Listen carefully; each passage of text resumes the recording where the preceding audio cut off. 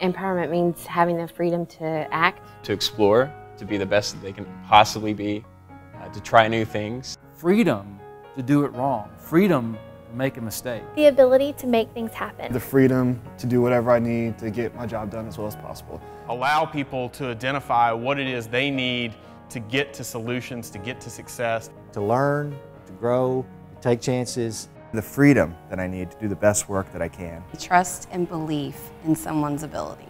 Get it wrong, make it better, make it right.